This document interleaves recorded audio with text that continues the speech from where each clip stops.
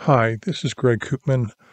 In today's lesson, I'm going to show you how easy it is to get a um, quite a bit done in Databricks without really knowing Databricks. Um, just by knowing certain uh, features of Databricks, we can do quite a bit. And as a SQL a SQL developer myself uh, in my past, um, and not a Python developer, uh, I found it a little intimidating going to Databricks. Um, but actually, if there's certain, if you do it a certain way, you can almost do everything in SQL. Uh, and I will, but in this particular video, I'm going to show you only basically how to just use the menus to import some data into a data lake, into a data lake house, and um, and actually be able to connect the Power BI to the Databricks and run reports. Okay, so let's just look at this diagram for starters. And what we're going to see in the top left corner is a SQL Server database. Now, in that database, um, I have a, I actually, I mean, in that database, which is I call Activities Club, I already have a database, which I showed in my last video on Power Apps, and basically it's um it's about six tables. It's not a lot. I think the biggest table is about 240,000 rows, and the um, and the players table is about 160,000, I think. So it's really not a very big database or anything, but I just want to show it uh, how easy it would be to take it from the SQL Server, uh, Azure SQL database, and bring it in down into here, into this, all these are your Databricks objects, and bring it into the database, uh, Databricks world, and then have it push it out to a its own cloud storage. After that, after that, I'm going to go ahead and create a, a quick Power BI report that connects to the Databricks, and um, then go ahead and show you how easy that is also. Okay, so again, I'm doing this from a perspective of a SQL Server developer uh, or DBA.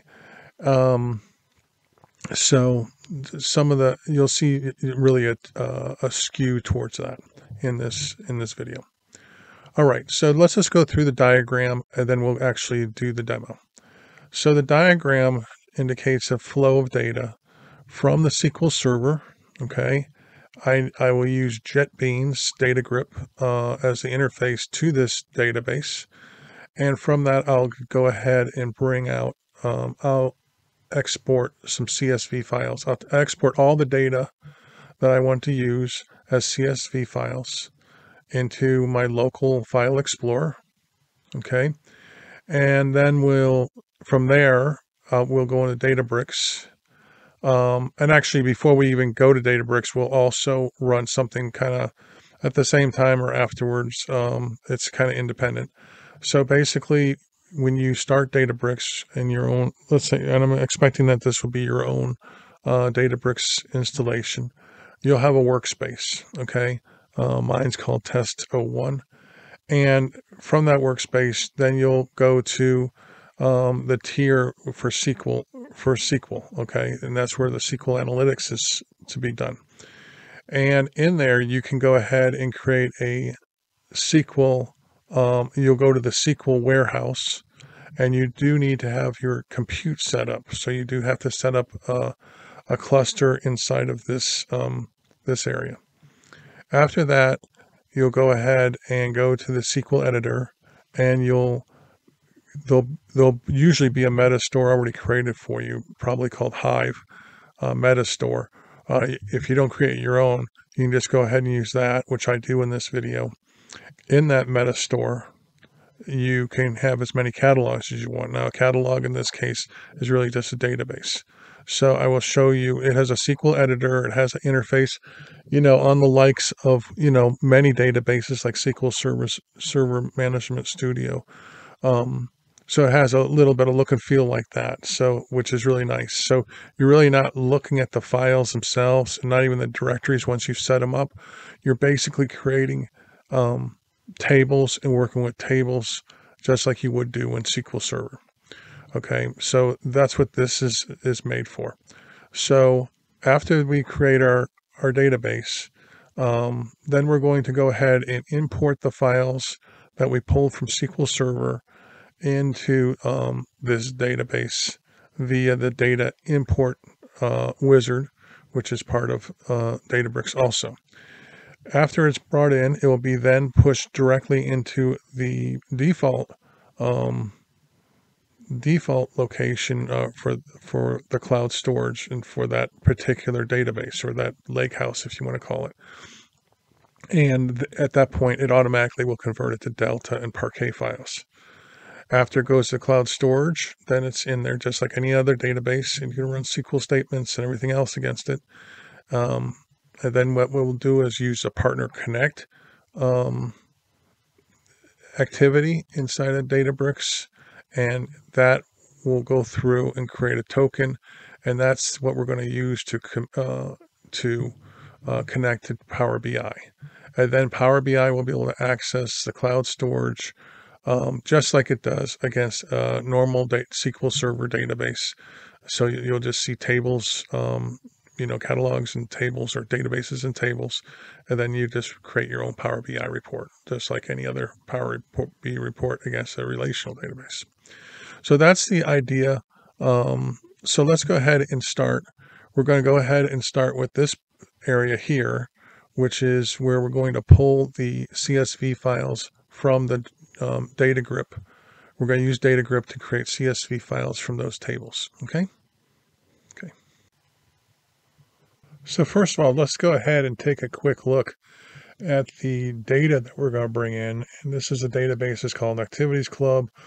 And these are the tables. Okay, nothing, like I said, nothing unbelievable. But so there's a country, actually, I only have USA in there. And uh, then all the states in the country, and the city, and then players are attached to that. And um, these players have activity types and levels. And just to be very brief about it, the whole thing focuses around like a YMCA or something like that, where um, actually for any anyone who wants to go and play uh, like ping pong or paddleball or tennis, um, that's an activity, and they and everyone is rated, uh, you know, according to their certain levels, and then they're put into the system. Anyone who wants to be is put in the system, uh, and this is nationwide, and um, then when they if they want to play that day or that night they just call in and they can go ahead and um, request to play that evening. And then the people at the desk they can go ahead and contact all the other players with that have that are within that range. Actually of course this can be totally automated where you take the human out of it uh, the, the, the office worker out and just automatically um, use some sort of a event log or a Twilio or a combination where you you know you'll take the request in from a text message and then it will automatically read it, understand who sent it, then send it out to all the qualifying candidates who could possibly play that evening uh, text message and then they would just go ahead and communicate through that that engine okay but anyways that's a little further than we need to know but uh, these are the tables. I've already brought in these three tables. I just want you to know this one, uh, this player table, like uh, I think it's about 160,000, and this one's about 240,000 rows. They're pretty skinny rows, you know, um, especially this player level, a lot of integers uh, fields. And so they actually, I was very surprised though, uh, to create a CSV, uh, it, it, only took like a less, maybe less than a minute. Um, uh, then to bring them in to the uh, Databricks uh, only took less than a minute too. So that was pretty cool, which means that if we had millions and millions of rows, I think it would still be very quick. And I'm using the lowest engine, compute engine to save money, okay, like 75 cents an hour. So um, that I just want you to know that. So this is a data model. Also in the data model, I also took out a bunch of the metadata that I had stored in there, sys start time, sys end time, and last modified user. So if they weren't necessary, I didn't bring those into for this uh, particular one. So what I'm going to do is go ahead and bring these other four in through DataGrip, and um, let's let you watch and um, maybe learn something there too. So here we go. Okay, so we're over here in DataGrip um, this is a JetBrains product. I made a video on it quite a while ago, 2018. I never renewed my uh, subscription to it, and um, but they're good enough that I could go back in there and retrieve uh, to the latest version that I paid for, and can still use it. So that's pretty cool. And I did I didn't think about this because I was trying to export out the CS, CSV files in the SQL Management Studio, and I was having a little bit of trouble. Uh, actually, I couldn't figure quite how, how to do that. Um, I mean, I could do it through through back in when I was um, on site SQL Server, uh, you could do it a lot easier through the tasks and the export features, but uh, that's a lot more. It's more clunky. I, I understand it. I've seen it done. I've done it once, but every time I set it up, it's just an extra pain that's unnecessary. I didn't want to also use Data Factory just for this little demo. I want again, I wanted to show how simple it was. So here we go. I'm just going to do it manually here. So I'm just going to take the city ID, okay, and we're going to run that. I'm just going to execute that that. Um, so, anyways, this is just like SQL Management Studio. Let me just go through this, and you can watch the video on Datagripps if you really want to. It's not necessary, but um, whatever you, whatever kind of uh, environment you can do to go ahead and get to CSV. That's why I'm using this. Uh, this one makes it really easy. So, okay, so here's my city. So I'm just going to go ahead and execute that. Come down to execute. And these are the cities that are in that table. And it's running.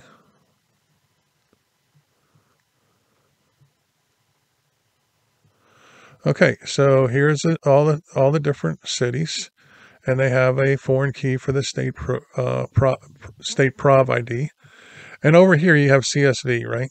And so uh, you can set up the CSV like I did here, comma separated. And then here I say uh, skip computed columns. And I also, um, right here, we went to configure CSV formats. And that way I could make sure that it was going to give me uh, comma separated, right? And um, we are going to use a comma just because I know there's no commas in there. And um, because I created the mock data. So then we wanted to make sure that there is that that the headers come in because I want them to um, have that first row is header because then when I bring it into Databricks, I can just say first row is header there and it will figure out a lot of things, which I'll show you in a second. Okay, so I say, okay, here, so I have that configured right. All I do is come over to this, this down arrow and go to File. And I'm going to go to, okay, it didn't give me the path, so, okay, so I put in the appropriate uh, path, and I just call this City CSV, and say okay, and then goes ahead and it, it does it. 342 rows. No big deal, right? Okay, so I'm just saying country. Of course, I don't have United States, but we're still going through the process. To file, I'll say country. I kept the, saying the proper folder, and I said, okay, let's do state. And we guess that's about 48, 50 states, so we'll go ahead and run it. And we're done. Okay, so let's say state province here, and okay. And there's one more file, and that's our levels. Again, very small file. We did other files before, um, but I can just take it for granted, take it from me that they took very little time to do this, um, even though they were over 100,000, 200,000 rows. Okay, so I'm just going to run that, execute. And then I'm going to, so we begin a simple file, but it still has to be done. So that is going to be low. All right. So when we go over to the folder on my local drive, I put in the different, here are all the different tables represented as CSV files. Okay, so now let's see what we've covered here. So here, let's go back to our overall diagram. And we're going to go ahead and drill in a little bit here um, to this section here. We're in the top section here. So we, we had our SQL Server database. I introduced you to that. I introduced you to the data, DataGrip tool. And then we went ahead and exported the CSVs to our file explorer. Okay, so that's where we're at. Now, where are we going?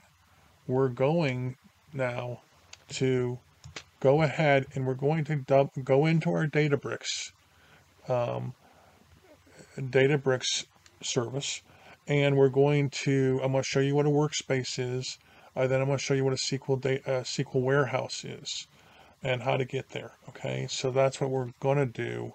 Um, and then we're going to come back to this diagram after that.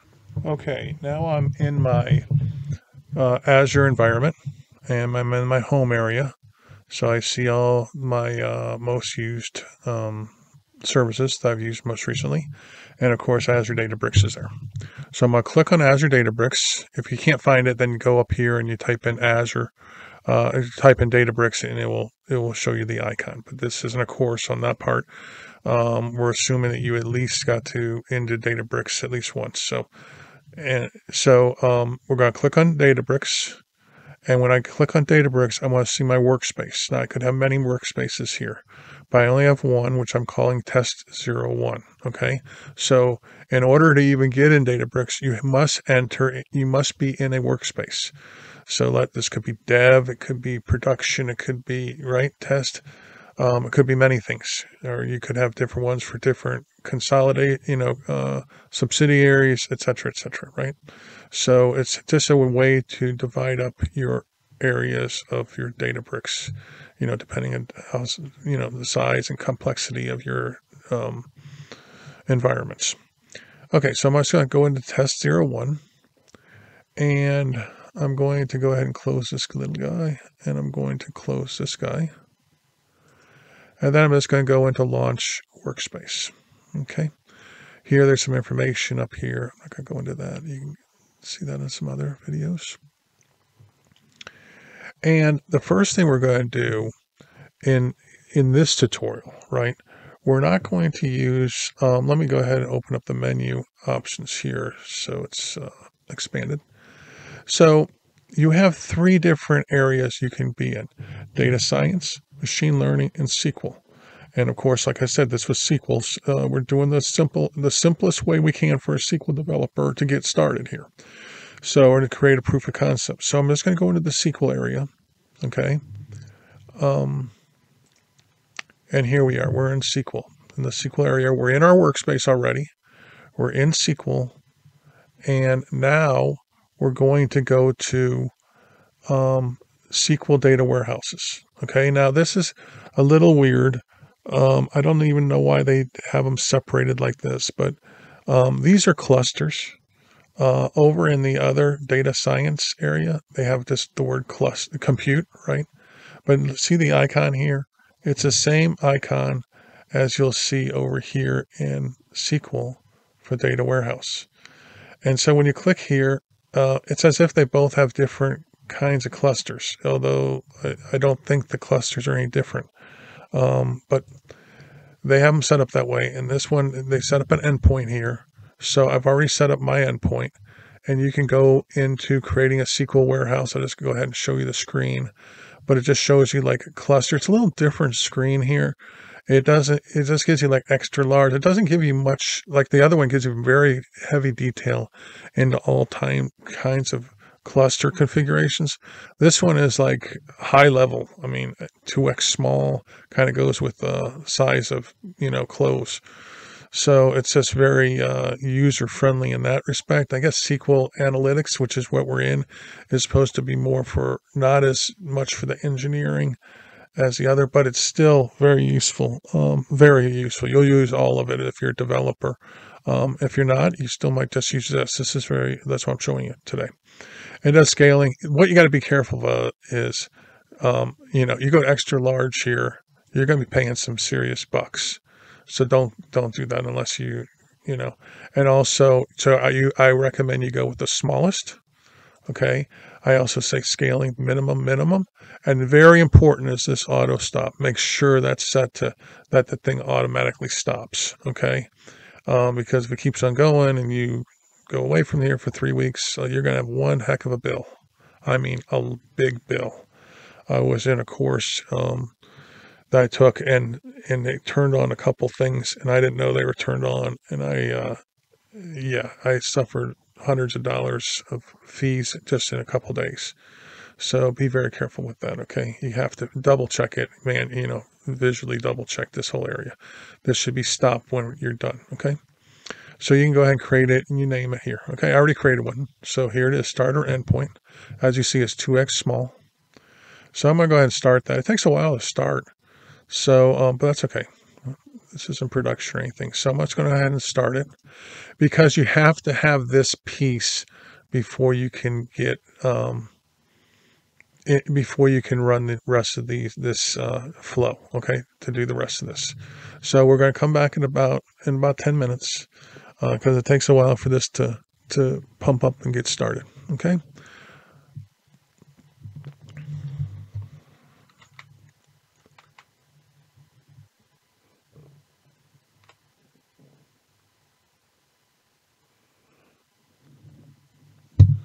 So right now, I want you to know that we're right at this point here.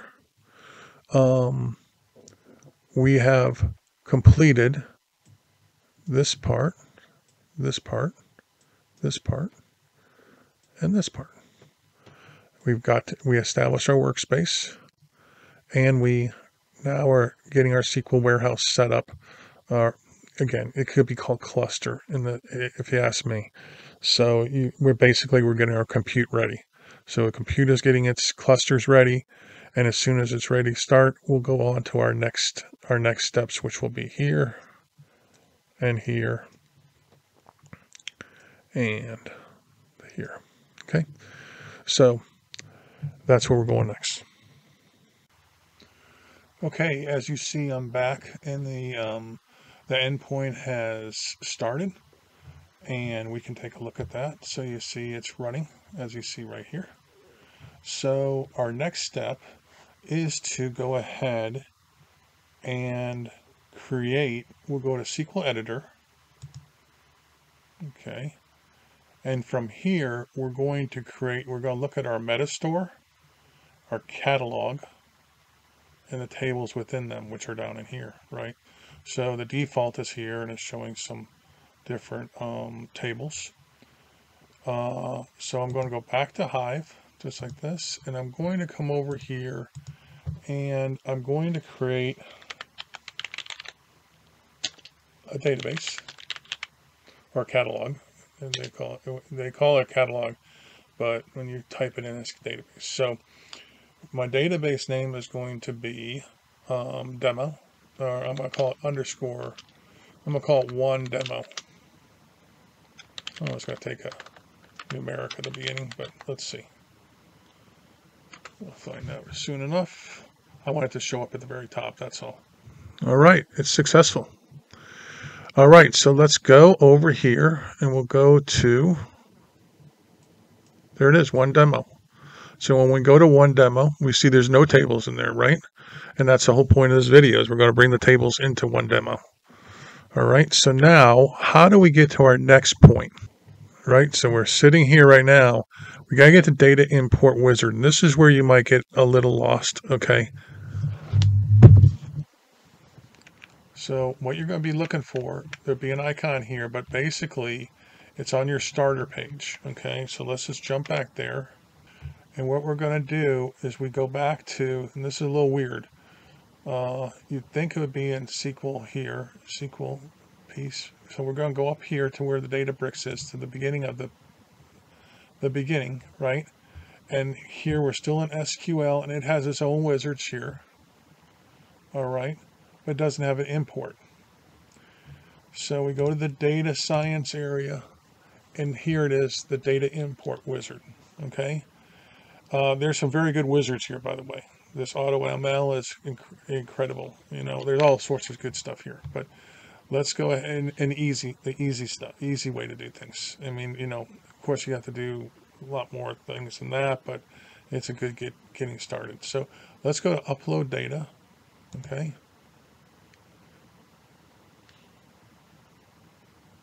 So now we're in the upload data, very simple. Go to browse. Now this will only allow me to bring in one table at a time or one file at a time. So it says you can bring in a CSV or a tab separated uh, table. So I will go to my area here. Okay. And I have them all under CSV files. So there they are, the ones I brought in from DataGrip. So I'm going to go ahead and let's go ahead and bring in, let's go in order. So we'll just bring in uh, activity type first. So it's bringing it in. It automatically has, it's defaulted to the first row contains the header. It's very quick. So here it is. So it also, um, and I'll show you this in a minute, It also can identify what the, uh, like here, identify that the activity type is a numeric and that the activity type name is character, alpha, alphanumeric. And same with description, okay, which I don't have anything for. So that all looks like it came in well. So let's go back. So I'm going to create an, uh, oh, now I created a table. It brought it in. Now it's asking me, do you want to create a table? And where do you want to create that table? So my default is Hive Metastore, default, and then the name they're going to name it as activity type. Now I want it not to go there. Oh, that's why I brought this to the very top. So I'll bring this to the top. I want it to go to the demo uh, catalog or database. I also don't, I don't use underscores. So I kind of like it like this. So let's just see if that's, it's only going to contain lowercase, so that's fine. So now we're just going to say create table, and I think everything is good. Let's look at advanced attributes. Column delimiter, automatically detect column types, which it already has, which is great. And uh, row spans multiple lines, which I don't have. Okay, so let's create table. So this process, once it's done, I'll do for all the other ones, um, and I'll put this in fast, fast motion so you don't have to watch it. Okay, that's done. So let's just go ahead and go to another tab. Let's duplicate this one, and we'll jump back over to SQL. Okay, so I go to the SQL editor. And I should see then, there's my demo, is there, uh, still over there. And there it is, activity type, right? So that's great. Let's go ahead and bring it, I'm gonna bring in all the other uh, tables and then be back. Okay, thanks. Okay, so it's finished. We got all of the tables over with no problem and we're going to um, just do a little bit of checking here. Um, yeah. So let, we're right now, it puts us right into the Explorer window, the Data Explorer. Oh, I'm sorry. I'm in the data, data, uh, I need to go over SQL, right? Because that's the area that I'm working in, the tier. So here's a data explorer I'm talking about. This is what we're talking about. So let's go back up to our demo and there's our tables, right? And here's some information about it, some details. There's where it's located, DBFS, user, Hive, warehouse. Um, and so what it's doing is that there's a metadata server, virtual server that's running um, all the time and it's stored and that's where this information is stored. Now these are called managed tables. These are located on that server. Okay. Um, generally when we build our data warehouses and our data lakes, we'll probably be using an external where we're over on the Azure storage um, blob containers Gen 2 and we'll be building i will be building them there. Uh, i think that's going to be cheaper and more i can manage it a little better. So um, but that's again this is why it's so simple here. And we're not having to do any of that legwork of creating a storage account or anything else. It's doing it all for us right here and saving it out and pushing it and pulling it wherever you know to this point. But when you do an external table you'll still have a meta store. So you'll still have this um, abstraction layer on top of your data. So it isn't like you're going to have to, you know, when uh, Power BI users come in, they're not going to have to go figure out what, you know, storage account and what blob container it's in or any of that. It's going to all talk through this area here, um, just like it would if it was going to SQL Server or to Redshift or to any of them. Okay. Um, okay. So that's that. So let's just go ahead and take do a couple queries. So I'm just going to come over to SQL Editor.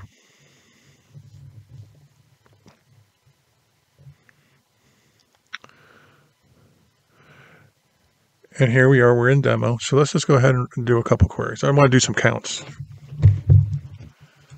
So one thing you can do, actually, before I do the counts, I can go to player, right? And um, well, over on Data Explorer, if I go into any one of these, right? So if I want to go in and look at go look at player, right? I can come here and I can go and look at sample data. So right there, it just shows me, gives me a little bird's eye view of what the data looks like. Okay. And then city, these are nothing exciting, but um, again, and there's your cities, your levels, your players. And so here's it. I think we just went to players, so your level. Um, again, you go to your sample data. Okay, and it has history and permissions here. You can set up permissions here for these tables for your users, uh, etc. Okay, so let's go back up to SQL Editor. I want to see some counts. So I'm just going to go ahead and just do, just show you two counts. Uh, select count. Okay, I can't type. From, and let's make sure I learn what I'm doing here. Demo dot demo dot, uh, let's call player. Those are the big tables. And then let's do another select count from one demo dot player level, right? These are the two big tables. These are what you would, and you know, it's an application. You'd, you know, this would end up being your, uh, probably your fact tables or at least a fact in one dimension table. So let's go ahead and run this. Um,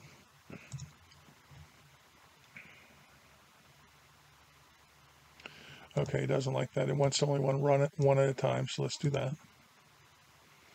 So I highlight that one and run there. So you see it's 152,000 for the player table. For the player level table, it's 240,000. 244,000. So it's, you know, it's not huge or nothing, but it's still something, right? So um, those are over there in that in those directories in, inside of the Hive, they call it. And um, that's it. So we're, what we're going to do now is actually pull this data out and put it into Power BI. So now we've finished the import. The import here is finished. The metadata store, the catalog is created, and the tables are created. So all this is done. And this is finished because when we imported it through, uh, when we imported through the wizard, it went through the metadata store, identified, you know, where it's supposed to put the data and build the Parquet and, and Delta tables. So that is pushed over to that cloud storage. In this case, I didn't say Gen 2 blob storage or anything like that because it isn't. In this case, it's it's there over there on the server, uh, on the on the Databricks server. So um, that's where it is. So that's why I didn't put down Gen 2 blob. But generally, this will probably be Gen 2 blob storage in Azure. Okay. So then here, and that's done, and that's done. Okay. So everything is done now except for two pieces, which is right here. So these two, Power BI. That's the part we want to go ahead and finish up with. Okay. Okay, so now we're going to go to try to get this data and access it from Power BI and build a report. So what we have to do first is go to Partner Connect here. So this is the easy way, okay, and the, and it works well. So let's just go ahead this way and go to Partner Connect. And in Partner Connect, you'll come down here and you'll see this uh, Microsoft Power BI. Just click on that button. It's real simple. It's going to ask you what your endpoint is, and the name of my endpoint is starter endpoint, Raw Original, right? Uh, and if you have other endpoints, you can use one of those. But in my case, it's going to be starter endpoint. I'm going to download the connection file. Okay, so I'm going to download it to the area I've been working with. So I'm actually going to download it into my CSV files. Um, so I'm going to save it there. All right. So now it's saved, right? So at, at this point, what I need to do is close this up and I need to come over to my account and under user settings. So I have personal access tokens. So I'll click there. And I already have a couple. But I'm going to go ahead and generate a token now. Now that here you want to write it down because you're not going to be able to see it later, right? As you can see from here. So you need to keep this in a safe place, okay, to keep, you know, so you can reuse it.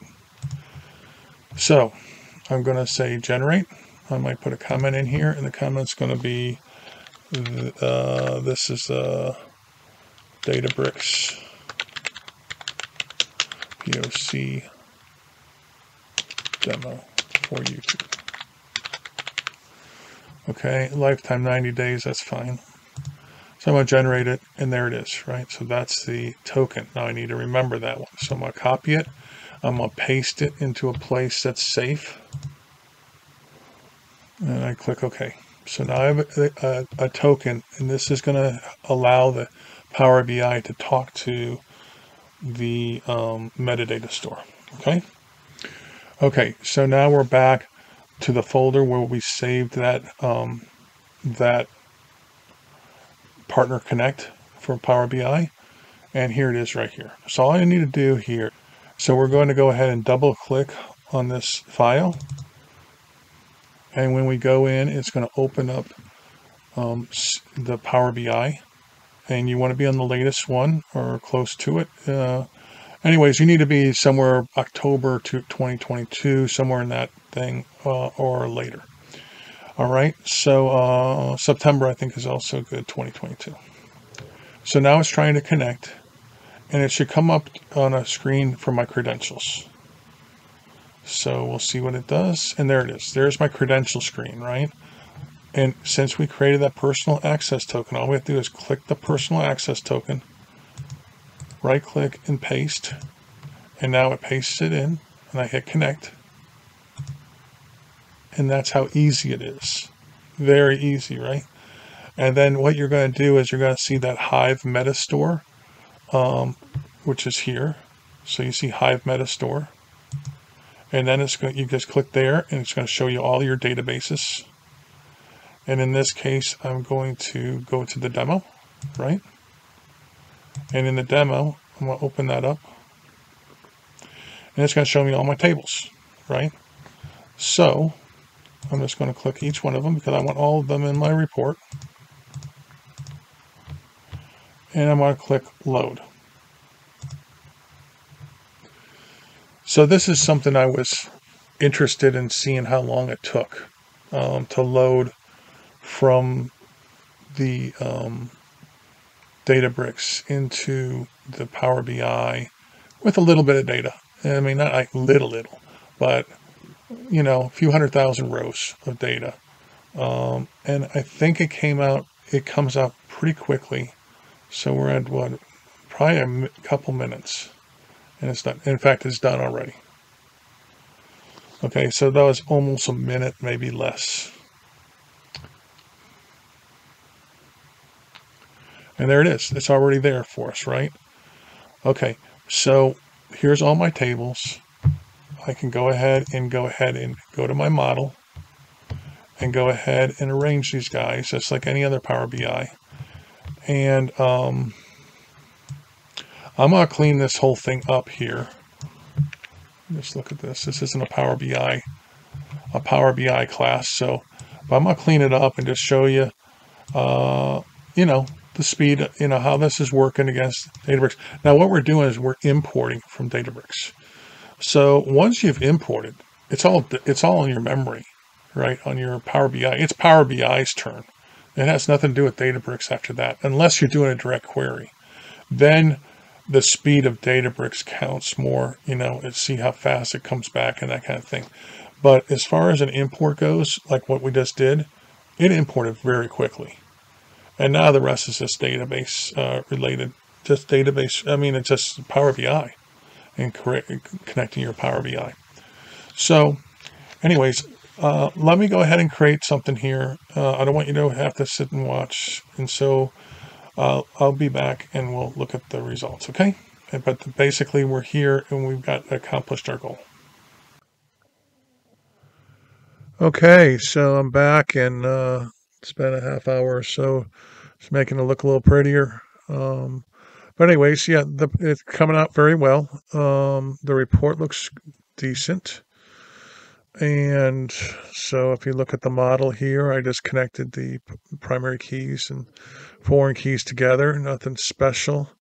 It wasn't meant to be, but um, So with all that data in there, I think about eight or 16 gigs uh, of memory on my laptop. So it's not really that much, but it, it, seems to be holding its own. Plus I have a, a recorder going and everything else. So it's um, doing pretty well. Anyways, uh, let's see. So this is what it looks like there. And my results are here. So if I click on uh, the United States and I click on, let's go to Wisconsin which won't be too many people in Wisconsin. Well, and we'll go to Racine, Wisconsin, wherever that is. Probably lots of people there. And I'll go and I say, okay, I want to play table tennis. So there's uh, some people over there that are at level seven. Let's say I'm a level four. So I click on four, and there we go. These two people are in that city, and they're a level four. And so maybe I can call them. I'm out of town. Okay, and then if I want to play someone really good, I might go for a pro level, which, ooh, there's a lot of pros playing over there in Racine, Wisconsin, because it's so cold. People don't want to go outside. I don't know. This is all random data. It comes from, um, I use this, uh, this company, this website called Mockaroo, uh, and you can get data from them and they'll just mock up the data. So I was able, like I said, I was able to get 150,000 random mocked up players names from there and then the cities and the cities and the states and everything that it all is intelligent. So it, it you know it knows that madison is in wisconsin and wisconsin's in the united states. You get that for all over the world. So i really highly recommend mockaroo for um you know when you need to get mock data and you want to get a lot of it. Because you know when you're showing these things if you got to create the data it takes forever.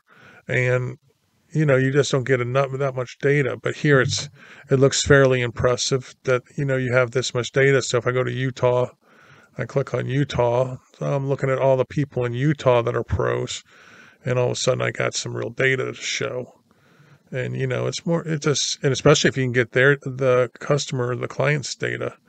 Uh, now if I want to look at handball, there's handball right there. Let's see if there's a beginner out there. My speed my, speed. I can't play handball. Okay. Anyways, that's enough of me talking. I think we're going to end the video. I hope you enjoyed it. Hope you got something out of it. The, the main takeaway from this video is that there's some really easy stuff that, you know, features and Databricks that you can use. Um, and this is one of, this is one little thing. Also, you can um, use this kind of thing, uh, use SQL, right? Use SQL developers if you orchestrate it right, you can do almost the whole thing in SQL, SQL, with a very little bit of Python.